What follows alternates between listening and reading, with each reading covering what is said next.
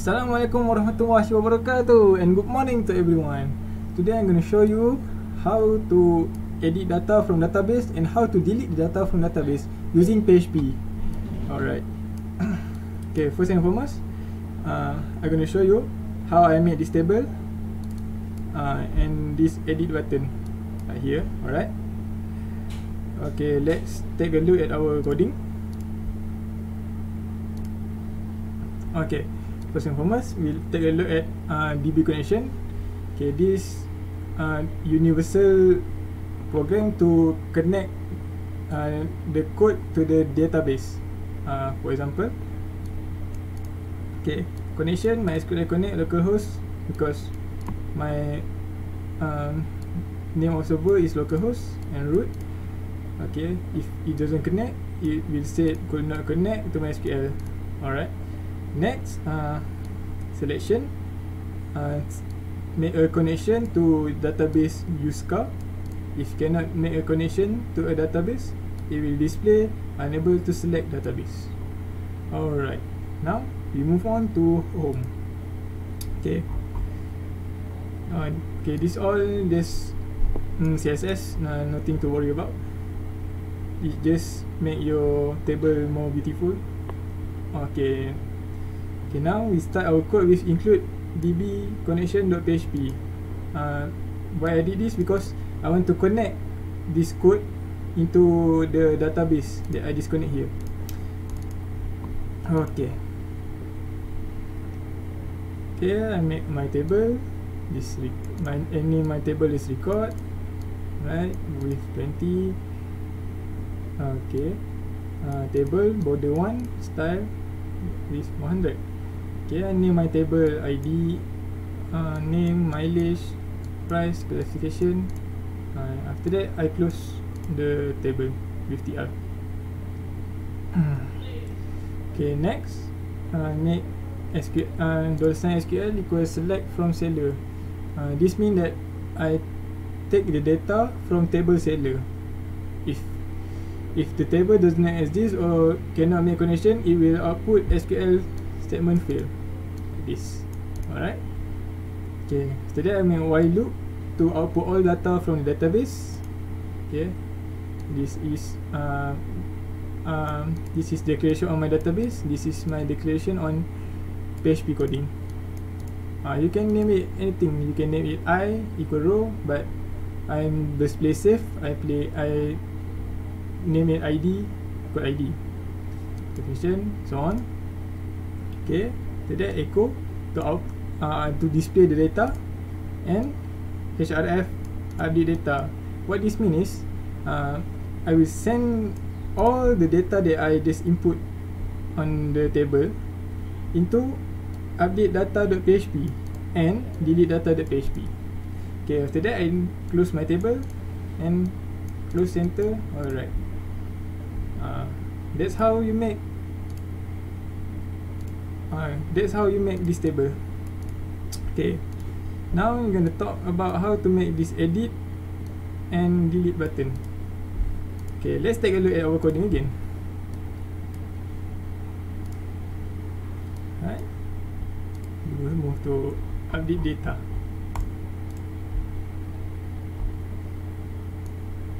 Okay. First and foremost as always we establish a connection to the database include db connection to php okay. Uh, I make array of variable pass to the current script via URL parameter id name classification and so on. Okay. This is css coding. Nothing to worry about. Again. Okay. This is table for update data. Okay. Sorry about that. Okay Make a title update a record. And method method get. Okay input text box name id value php dot get. Array ni. Array this. Okay. So then repeat the process with another name such as km km price price and classification classification. After that this is submit button. Submit then submit and value is update you can make value submit but I think Adi is more beautiful for me. Okay let's move on. Okay the get submit take the submit from here. Uh, get id array uh, uh, array of variable pass to current script your URL parameter. I give it I declare it again. Same as home.php as we do it earlier. Okay okay okay. So on okay. After that I will update the data. Uh, the uh, uh, sorry. I will update the seller table because my table name is seller. And set name name km km and so on. Where id is id why id where id is id because i have have, have set id as the primary key okay. Result mysql establish connection sql2 yes. If result equal to if it can if uh, if it, it can connect to the table and update data to table it will pop up uh, record update successfully and will refresh back to home page.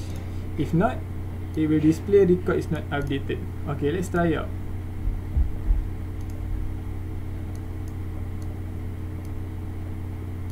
okay okay now I want to edit uh, Ahmad.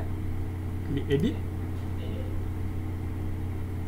Okay now I want to change name to Ali and his price is 10,000 eh his mileage is 10,000 okay click update. Okay now it will refresh back to the home page. Okay as you can see the name from Ahmad to Ale and mileage have been changed to 10,000 alright. Now we move to the delete section. Right let's, to, let's take a look at the code. Okay. The delete is the most simple one. Uh, as always establish connection. Db.connection.php id dot get id why I did this? Getting id from data from the url since id is primary key if I delete id the whole uh, data that exists in id will be terminated. Okay result mysql query. Uh, establish connection delete from seller. Delete from table seller where id equal id dia dari uh, if deleting is successful it will refresh back to the home page. If not uh, it will it will not do anything okay let's let's try it okay. Now I want to delete uh, this shaitan uh, database because you know I just want to delete it. Okay just click delete. Okay the homepage will be refreshed. And yeah the data shaitan has been have gone. Alright that's all for me. Thank you for watching. See you on my next video if I make an, another video. Alright goodbye